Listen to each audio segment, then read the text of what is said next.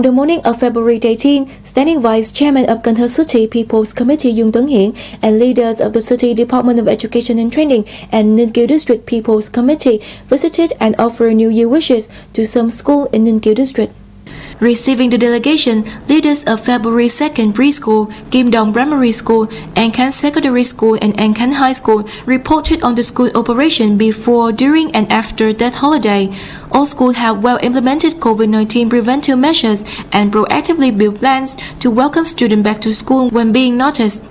Standing Vice Chairman of Thơ City People's Committee Dương Tấn Hiển briefed the achievements of the city in the past year while stated that the city is considering the time to allow students to go back to school. He also required the school to intensify COVID-19 preventive measures and constantly supervise teachers and student health. On the New Year occasion, Standing Vice Chairman of Thơ City People's Committee Dương Tấn Hiển wished the school leaders and staff a year full of health, happiness, and victories in their education career.